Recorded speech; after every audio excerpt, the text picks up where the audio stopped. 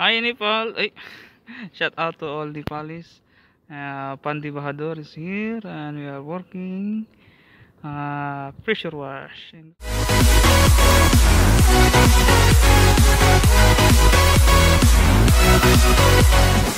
welcome sa aking vlog. Ngayon po ay tayo may trabaho rito sa taas sa paglilinis ng courtyard.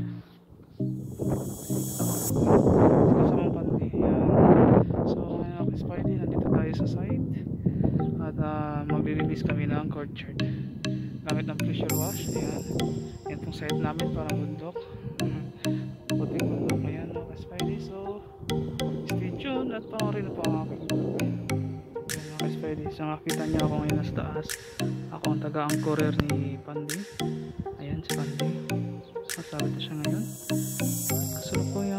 So po po sa host na mula sa baba. Andun. So, lang po. So, kita nyo ang isang rope dito ay may tama. Kaya ang ginawa namin ay ng uh, butterfly na para yung pwersa ng uh, ng uh, nakasabit ay hindi mapunta rito kundi dito lang sa butterfly knot niya. So, safe yan ako sa Ito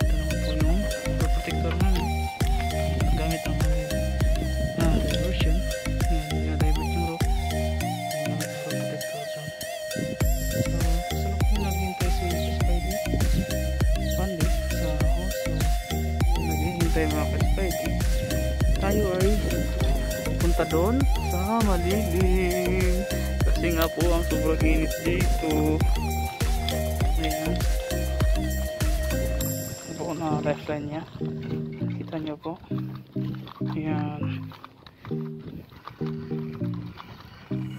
um, abangan na lang natin siya mamaya po Spidey po tayo dyan. Safe naman yan. Ayun siya dun oh. Be right back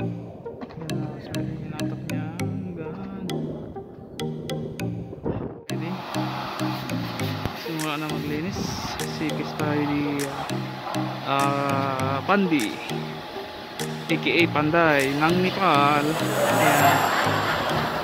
Syempre dahil sa sangkatutak na ipot ng ibon na yan ay kami nagkaroon ng trabaho rito mga kaspide kaya salamat na rin sa mga ibon. Na yan ano? Salamat ha? Dami, dami yung tae men. Oo.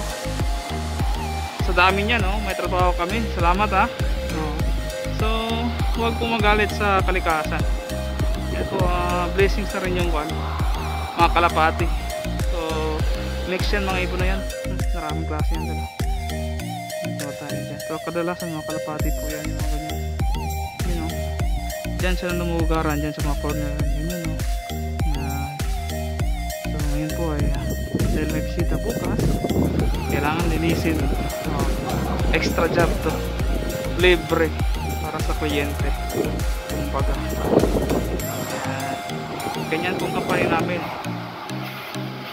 Ah ganyan kabait ko nabibigyan ng libre libre palinis para lang po ah, hindi sila madismaya sa trabaho.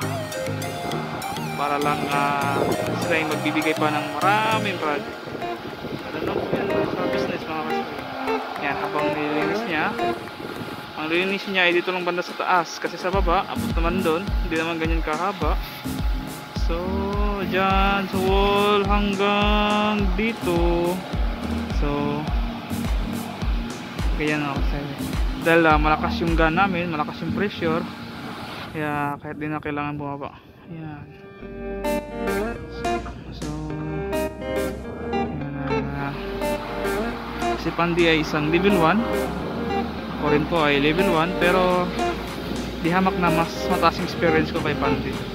Kasi 5 years na ako nagro practice siya sa, nasa mga 2 years pa lang ito.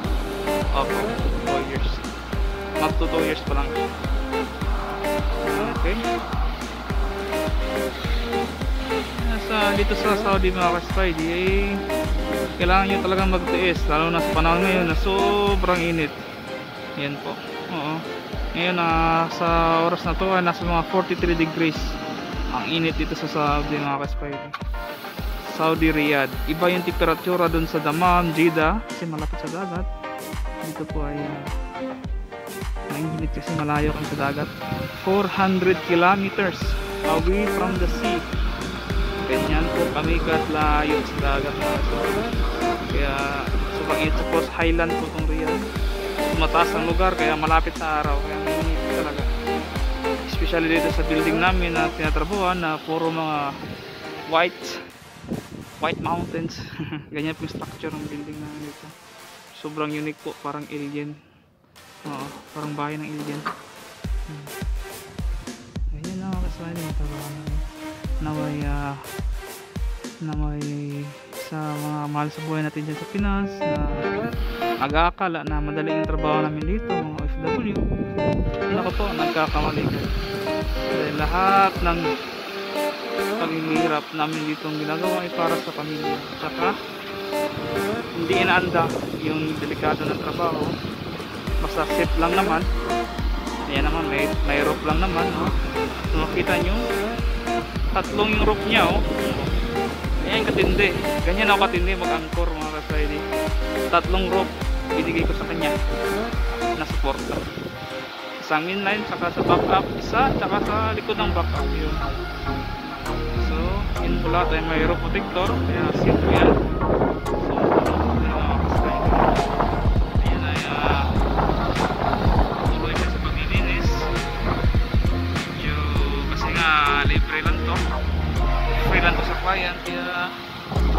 okay lang na hindi masyado magtatagal dito. Medyo konting bilis lang. Ang importante pulido rin ang trabaho. Tsaka dahil lang mga bisita ay tinitingnan dyan lang sa baba. Dyan lang yung wall na yan ito. So walang problema kahit dyan. Hindi na muna. Uh, kasi may nakaschedule po sa trabaho namin sa buong structure yan sa taas. Linisin namin yan isa-isa yan. Ang buong structure dyan. Oo. So yan trabaho namin ng Kaswadi every year uh, three times kung hindi ako nagkamali three times a year namin nililinis to. Yan. Dito sa mga ganito mga courtyard pag may bisita uh, yan nililinis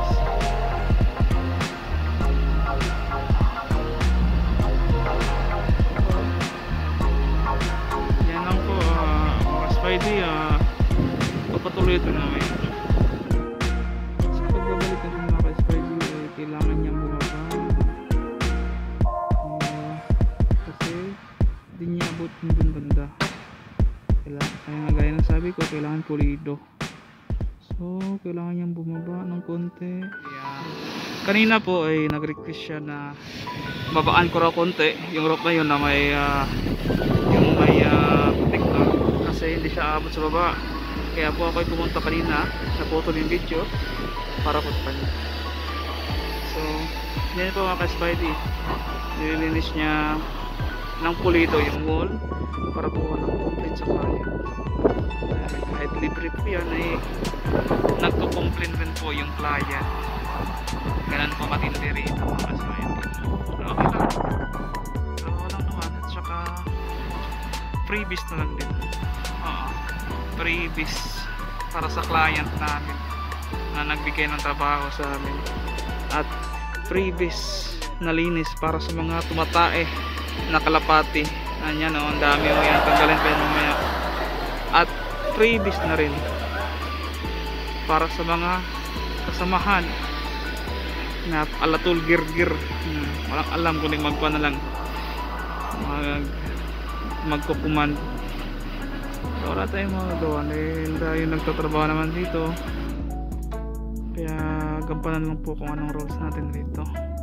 Hindi po dapat tayo magmudir-mudiran o magbos-bosan marami po dyan sa baba. Hindi ko na pangalanan pero ah, makasamahan ko alam na yan. Yan po mga kaspidey. Ah, yung po machine na gamit namin ay uh, made in Germany. Karcher yan po ay sobrang uh, lakas ng pressure niya kaspidey so makikita nyo ang, ang layo di ba? Ang layo ng maabot ng point niya. Okay so maya maya mga kaspidey ilipat siya ngayon mula dun sa angkor niya punta rito sa middle sa gitna. Dyan kasi para makuha niya lahat mula dun hanggang dito. Oo makuha niya mamaya sa tulong ko na din mga slide so muna hanggang dito muna po pagpatuloy din mamaya. Sa mga oras na doon mga ka-Spidey siya po yung naglilipat ng angkor mula dun sa kabila. Punta rito na angkor. Yan. Nakaready na po yung mga ka-Spidey may protector na yan kaya safe. So ayun. Naglipat na siya ng angkor para makalipat siya sa kabila. At maya maya po mga gawan ko yan ng angkor para makapunta na siya dito kaya nang sabi ko dyan ko ilalagay Alright,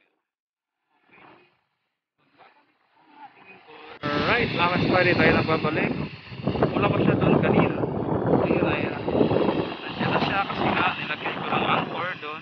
1, 2, 3 yan. ka-Spidey anchoran ko para sa ikakomportable niya. Baga ako lang yung support niya. Siya yung carry.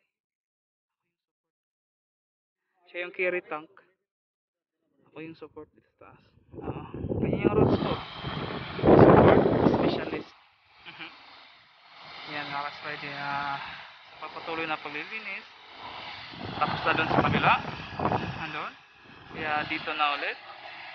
Dyan sa wall na yan. At pagkatapos ay dyan na mga ka-Spidey medyo mamaya maya ay mababasa tayo konti pero okay lang. Para lang ka- kabubuti ng ekonomiya. Ay eh, ibig sabihin ikabuti ng trabaho. Yan lang po mga ka-Spidey ah, tayo magbabalik mamaya. Papatuloy po tayo konti kasi hindi abot niya sa baba yan inarrange yung rope niya tsaka yung gun. Kinuha niya yung gun na may backup yan na Spidey ready to spray na si Kuya Spidey Pandy from Nepal. Ang panday ng Nepal. Ayan. So ganun na po no mga ka-Spidey trabaho namin. Akyat, baba, akyat, lipat angkor.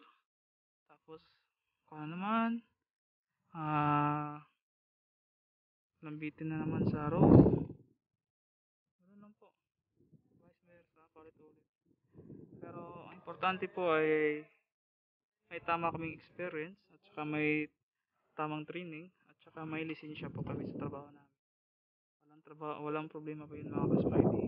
Walang trabaho mahirap sa taong masipag. Diba? so